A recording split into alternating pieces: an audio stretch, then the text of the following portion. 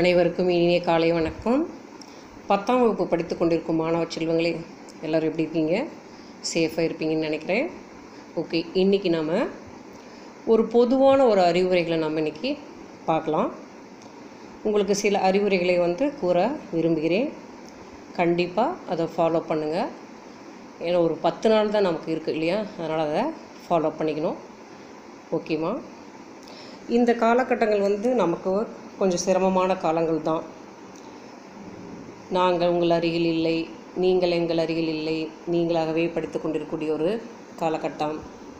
அதனால் வந்து இதை நம்ம கடந்து தான் வந்தாக வேண்டிய சூழ்நிலை. இதுவும் கடந்து போகும் அப்படின்னு நினைக்கலாம். அதனால் சில இன்ஸ்ட்ரக்ஷன் வந்து நாம் இன்றைக்கி பார்க்கலாம். ஃபஸ்ட்டு வந்து உங்கள் மனநிலையை சந்தோஷமாக வைத்துக்கொள்ளுங்கள் இந்த எழுபத்தஞ்சு நாள் கிட்டத்தட்ட செவன்டி ஃபைவ் டேஸ் ஆகிடுச்சு இல்லையா? மார்ச் பதிமூணாம் தேதி நாங்கள் உங்களை கடைசியாக பார்த்தது. எழுபத்தைந்து நாட்கள் கடந்து விட்டன. அதனால் கொஞ்சம் விளையாட்டுத்தனமாக இருந்திருப்பீங்க. தாயம் விளையாடுறது இந்த மாதிரி விளையாட்டுகள் விளையாண்டுருப்பீங்க. பரவாயில்ல ஓகே இனிமேல் இந்த ஒரு பத்து நாளைக்கு ஒரு டைம் டேபிள் மாதிரி ஸ்கூல் இருக்கிற மாதிரி ஒரு டைம் டேபிள் போட்டுக்குங்க. காலையில் ஸ்கூலுக்கு கிளம்புனா எப்படி கிளம்புமோ அந்த மாதிரி கிளம்பி வர்ற மாதிரி நீங்களே ஒரு கற்பனையில் இந்த ஒரு பத்து நாளாக வந்து ஃபாலோ பண்ணி எக்ஸாம் எழுதுறதுக்கு தயாராக இருக்கக்கூடிய ஒரு நிலையை நீங்கள் உருவாக்கிக்குங்க. அடுத்தது என்ன அப்படின்னு சொல்லி சொன்னால் எக்ஸாம் வருதே. ஐயோ படித்ததெல்லாம் மறந்து போயிடுச்சே. ஒன்றுமே ஞாபகத்துக்கு வர மாட்டேங்குது. நிறைய மீம்ஸ் எல்லாம் பார்க்குறோம். தாயம் ஒன்று ரெண்டு ஈரஞ்சு இப்படி தான் வந்து ஞாபகத்துக்கு வருதே. படித்தது எதுவுமே ஞாபகத்துக்கு வருதே. அப்படிலாம் நீங்கள் வந்து பயப்பட வேண்டிய அவசியமே இல்லை.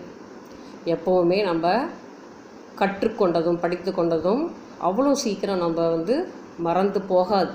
எங்கேயோ ஒரு இடத்துல ஒரு மூலையில் ஸ்டோர் ஆகிருக்கும் அதை நம்ம மறுபடியும் வந்து ரீகால் பண்ணிக்கணும். இந்த பத்து நாளில் அந்த ரீகால் பண்ணிக்கிறதுக்கு தான் இந்த பத்து நாளைக்கு முன்னாடியே நான் உங்களுக்கு இந்த வீடியோவை நான் போடுறேன். அதனால் அந்த ஃபியரே நமக்கு வேணாம். ஏன்னா ஃபஸ்ட்டு நீங்கள் வந்து அரசு பொது தேர்வு எழுதக்கூடிய குழந்தைகளாக இருக்கீங்க. அதனால் கொஞ்சம் ஃபியர் இருக்காம தான் இருக்கும். ஒன்றும் ஃபியரே தேவையே கிடையாது.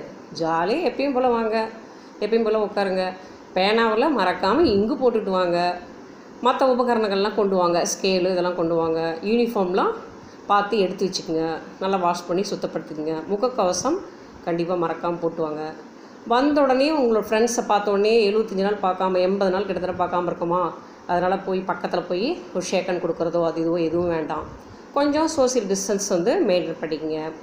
இது போதும். மற்றபடி எல்லாமே உங்களுக்கு இன்ஸ்ட்ரக்ஷன் சொல்கிறதுக்கு உங்களுக்கு என்ன டவுட் இருக்கோ அது கிளியர் பண்ணுறதுக்கு எல்லாமே நாங்கள் இருக்கோம்.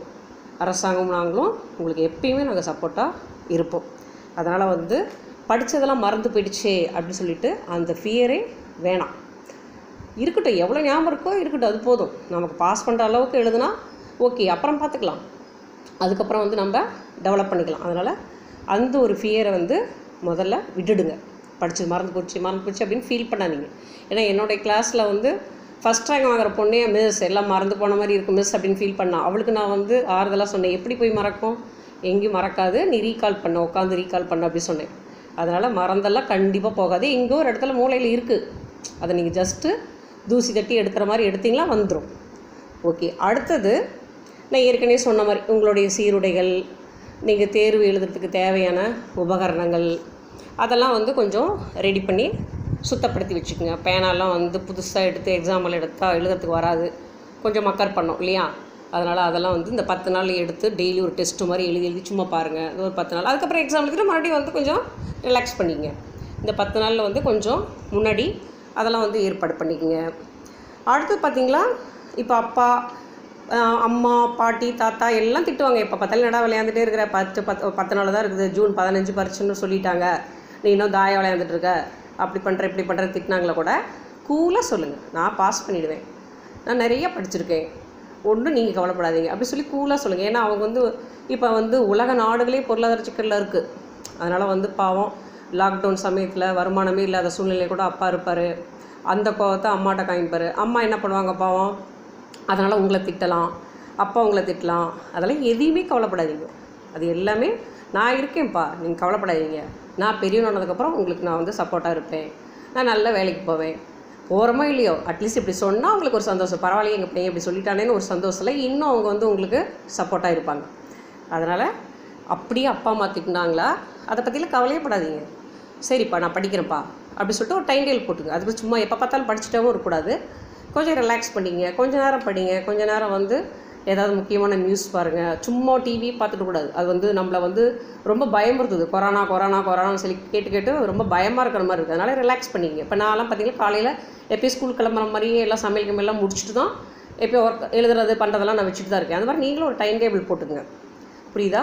அதனால் யார் எது திட்டினாலுமே அவங்க இருக்கக்கூடிய மனநிலையில் இப்போ ஏதாவது திட்டங்களை கூட நீங்கள் அதை பற்றிலாம் ஒன்றுமே கவலைப்படாதீங்க. ஒரி பண்ணிக்காதீங்க. இந்த காலகட்டத்தை நம்ம வந்து கடந்து வந்து தான் ஆகணும். இதுவும் ஒரு காலம் மூன்றாம் உலக போர் யுத்தம் மாதிரி.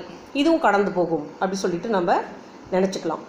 இப்போ நம்மளுக்கே தெரியும் ஒரு கல்லானது உளியால் பல அடிகளை வாங்கின பின்னாடி தான் அது சிற்பமாக மாறுதுன்னு தெரியும்.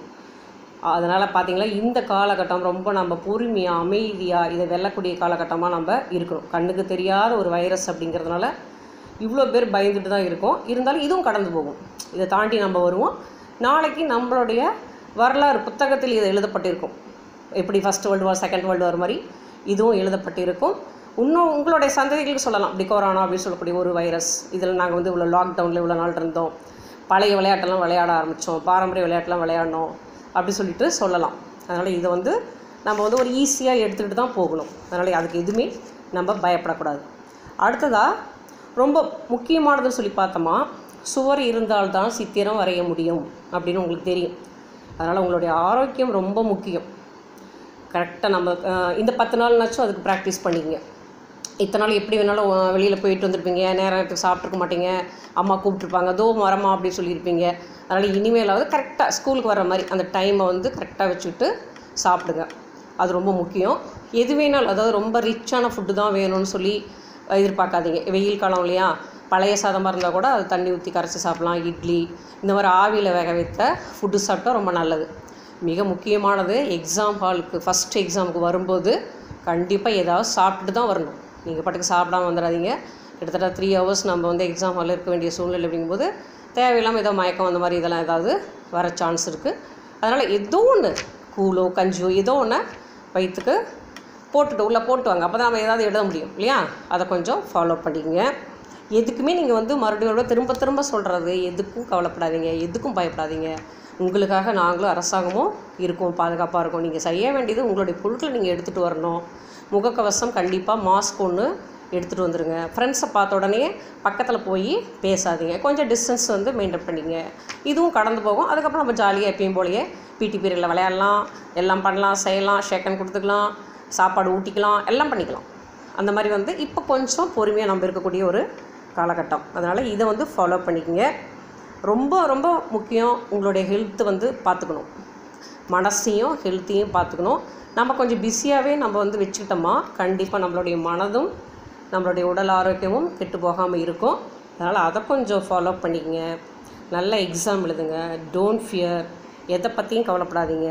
உங்களுக்காக வந்து பேரண்ட்ஸ் வந்து அவ்வளோ சப்போர்ட்டாக இருக்காங்க. பாட்டி தாத்தா அப்பா அம்மா எல்லாம் வீட்டில் உங்களுக்கு ரொம்ப சப்போர்ட்டாக இருக்காங்க. ஸ்கூலுக்கு வந்துட்டிங்களா? ஆசிரியர்களாகிய நாங்கள் வந்து உங்களுக்கு சப்போர்ட்டாக இருக்கோம். எதை பற்றியும் கவலைப்படாதீங்க. எக்ஸாமில் நீங்கள் வந்து உங்களுக்கு என்ன ஒரு ஆன்சர் தான் கேட்கக்கூடாது. மற்றபடி வந்து எது வேணாலும் நீங்கள் கேட்கலாம். திடீர்னு உனக்கு உடம்பு முடியலையோ அல்லது ஏதாவது பிரச்சனையோ அப்படி சொல்லிட்டு எது வேணாலும் கேட்கலாம். பயப்படாமல் இருங்க. மெயினாக நான் திரும்ப திரும்ப சொல்கிறது பயப்படாமல் இருங்க. ஜூன் பதினஞ்சாம் தேதி எக்ஸாம் அப்படின்னு சொல்கிறதுனால அதுக்கு முன்னாடி இந்த பத்து நாளை வந்து டைம் டேபிள் போட்டு ஒரு ரீகால் பண்ணிக்கங்க. ஒரு தமிழுக்கு ஒரு டைமு இங்கிலீஷ்க்கு ஒரு டைம்னு ஒரு அஞ்சு சப்ஜெக்ட்டுக்கும் ஒரு டைம் டேபிள் போட்டுங்க டெய்லி படித்ததை வந்து ரீகால் பண்ணிகிட்டே இருங்க.